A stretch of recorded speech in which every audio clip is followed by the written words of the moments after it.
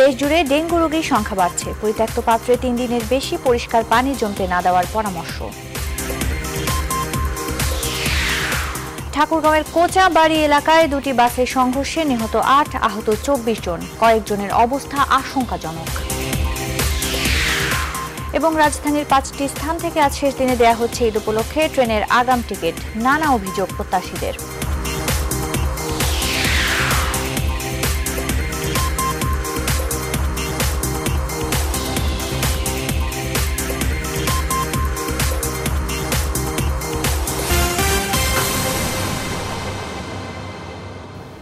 স্বাগত news twenty four সংবাদে। সাথে আছি আমি রিদিমা হক। এতক্ষণ দেখছিলেন শিরোনাম, এবারে বিস্তারিত। দেশের বিভিন্ন জেলায় কোনো উন্নতি হয়নি ডেঙ্গু পরিস্থিতির, বরং হাসপাতালগুলোতে বেড়েছে ডেঙ্গু রোগীর সংখ্যা। চট্টগ্রামের বিভিন্ন হাসপাতালে ভর্তি আছেন দুই শতাধিক ডেঙ্গু আক্রান্ত রোগী। এসব রোগীর চিকিৎসা দিতে হিমশিম খেতে হচ্ছে হাসপাতাল কর্তৃপক্ষ ও চিকিৎসকদের। খুলনা, সাতক্ষীরা ও নড়াইল এই তিন জেলায় এখন পর্যন্ত একশো তেষট্টি জন ডেঙ্গু রোগী শনাক্ত করা হয়েছে। বরিশালে গেল চব্বিশ ঘন্টায় শেরেবাংলা মেডিকেল কলেজ হাসপাতালে ভর্তি হয়েছে তেত্রিশ জন। ষোলো জুলাই থেকে এই পর্যন্ত ডেঙ্গু নিয়ে ভর্তি রোগীর সংখ্যা দাঁড়িয়েছে একশো চৌত্রিশ জনে। ডেঙ্গু রোগীর সংখ্যা আশঙ্কাজনকভাবে বাড়ছে রংপুর বিভাগেও। গেল বারো দিনে আট জেলায় একশো জন রোগী ডেঙ্গু আক্রান্ত হয়ে হাসপাতালে ভর্তি আছেন বলে জানিয়েছেন সংশ্লিষ্টরা। স্বাস্থ্য অধিদপ্তরের হিসেবে গত চব্বিশ ঘন্টায় বিভিন্ন হাসপাতালে সতেরোশোর বেশি রোগী ডেঙ্গু জ্বরে আক্রান্ত হয়ে হাসপাতালে ভর্তি হয়েছে। সরকারের হিসাব মতে এ পর্যন্ত আক্রান্ত হয়েছে বিশ হাজার মানুষ।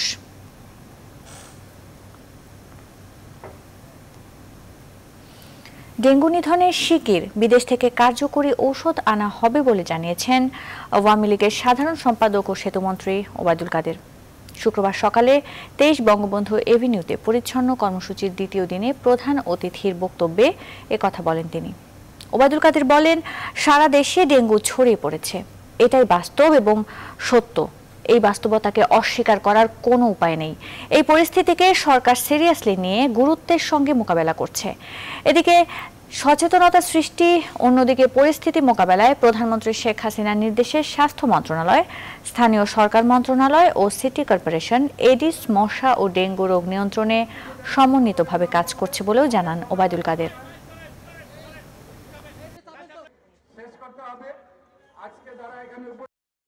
ঔষধ দিয়ে পরীক্ষা নিরীক্ষা চলছে। কিছু কিছু ঔষধের নাম এসছে, যে ঔষধ অন্যান্য দেশে ব্যবহারের পর সেখানে ফেজ আউট হয়ে গেছে। কাজে যাতে কার্যকর ঔষধ এখানে প্রয়োগ করা যায় সেভাবে পরীক্ষা নিরীক্ষা চলছে। খুব শিগগিরই এই কার্যকর ঔষধ বাংলাদেশে আনার ব্যবস্থা করা হচ্ছে এবং সেজন্য একটু ধৈর্য ধরতে হবে সবাই। বিশেষজ্ঞরা বলছেন, পরিত্যক্ত পাত্র বা কোনো কিছুতে তিন দিনের বেশি পরিষ্কার পানি জমে থাকলে তাতে বংশ বিস্তার করে এডিস মশা। এই মশার কামড়েই ডেঙ্গু জ্বর হয়। মশা কমাতে তাই বাড়ির আশেপাশে কোথাও পরিষ্কার পানি জমতে না দেওয়ার পরামর্শ দিয়েছেন বিশেষজ্ঞরা। রাজধানীর বিভিন্ন স্থানে অনেকেই নিজের বাড়ি বা অফিসের আশপাশ পরিষ্কার করছেন, জমতে দিচ্ছে না পরিষ্কার পানি। এ বিষয়ে বিস্তারিত জানাতে বনানী থেকে এই মুহূর্তে আমাদের সঙ্গে যুক্ত হচ্ছেন সহকর্মী সজল দাস। সজল, সরকার ও সিটি মেয়রের পক্ষ থেকে তো বারবার রাজধানীর প্রত্যেক নাগরিককে তার এলাকা কিংবা বাড়ি পরিষ্কার করতে আহ্বান জানানো হয়েছে। তো আসলে কতটা সক্রিয় হচ্ছেন রাজধানীবাসী?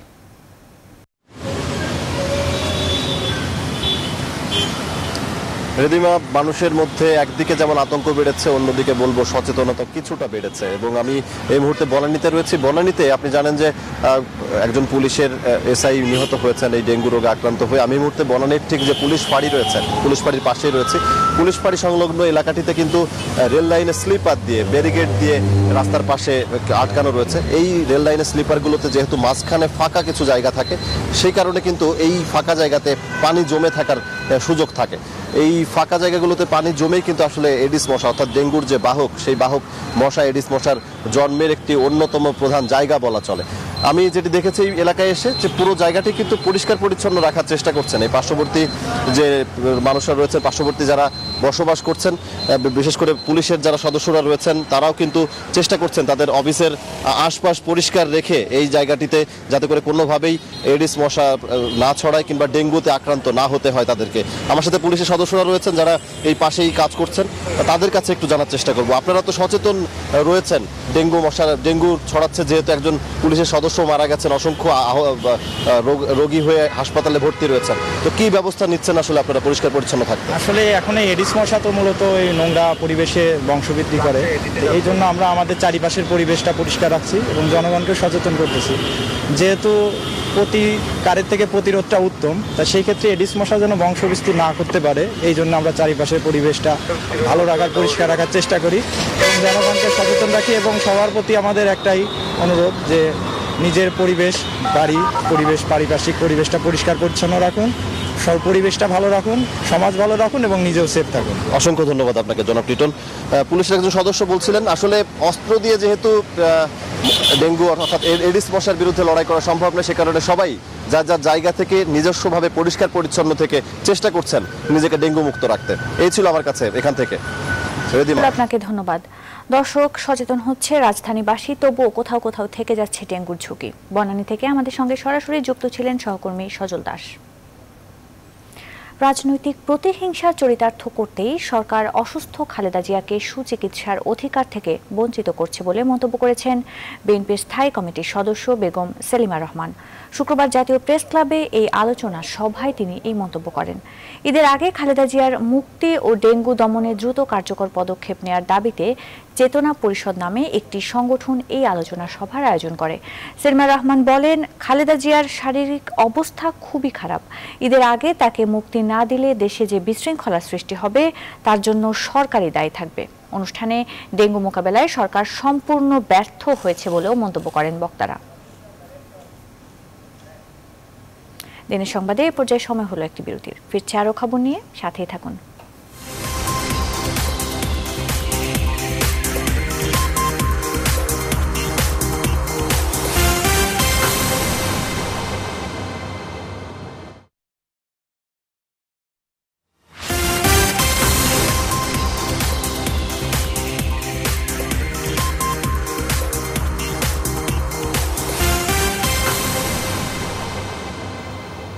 নিউজ টোয়েন্টি ফোর দিনের সংবাদে স্বাগত আরও একবার। সড়কে কিছুতেই থামছে না মৃত্যুর মিছিল। প্রতিদিনই দেশের বিভিন্ন স্থানে সড়ক দুর্ঘটনায় প্রাণ হারাচ্ছেন কেউ না কেউ। আজ ঠাকুরগাঁওয়ের খোঁজাবাড়িতে সড়ক দুর্ঘটনায় নিহত হয়েছে আটজন। আহত হয়েছে আরও চব্বিশ জন। প্রত্যক্ষদর্শীরা জানান, সকাল আটটা থেকে ঠাকুরগাঁও ঢাকা মহাসড়কের খোঁচাবাড়ি এলাকায় এই দুর্ঘটনা ঘটে। ঠাকুরগাঁওগামী ডিপজল এন্টারপ্রাইজ ও রংপুরগামী নিষাদ এন্টারপ্রাইজের বাসের মধ্যে মুখোমুখি সংঘর্ষ হয়। এতে ঘটনাস্থলে মিনিবাস চালক সহ ছয় জনের মৃত্যু হয়। আহতদের স্থানীয় স্থানীয়দের সহায়তায় উদ্ধার করে ফায়ার সার্ভিসের কর্মীরা তাদেরকে চিকিৎসার জন্য বিভিন্ন হাসপাতালে ভর্তি করা হয়েছে। ঠাকুরগাঁও আধুনিক সদর হাসপাতালে নেওয়ার পর দুইজনের মৃত্যু হয় আর রংপুর মেডিকেলে নেওয়ার পথে আরও একজনের মৃত্যু হয়।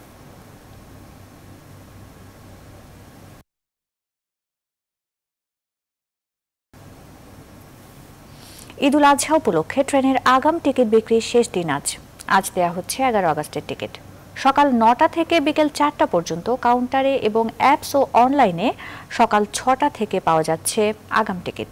এবারও পাঁচটি স্টেশন থেকে টিকিট দেয়া হচ্ছে। তবে অনলাইনে বা অ্যাপসে টিকিট না পাওয়ার অভিযোগ রয়েছে যাত্রীদের।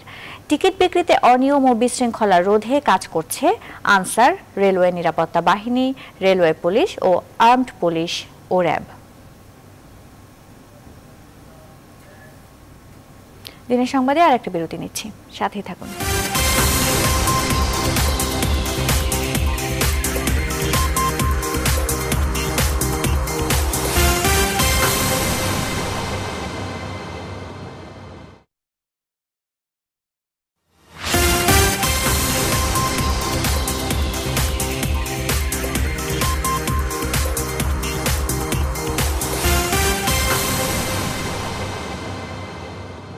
দিনের সংবাদে স্বাগত আরও একবার। এবারে ফার্স্ট সিকিউরিটি ইসলামী ব্যাংক অর্থ বাণিজ্যের সংবাদ।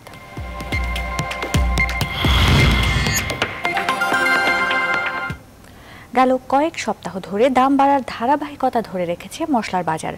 কোরবানির চাহিদাকে মাথায় রেখেই যেন ব্যবসায়ীরা এলাচ, দারচিনি আর আদার দাম বাড়িয়ে দিয়েছে। তবে দাম কমার তালিকায় আছে সবজি, মাছ আর ব্রয়লার মুরগি। ক্রেতারা বলছেন, এই দামও বেশি তাদের জন্য। দাম আরও অনেকটা কম হওয়া উচিত।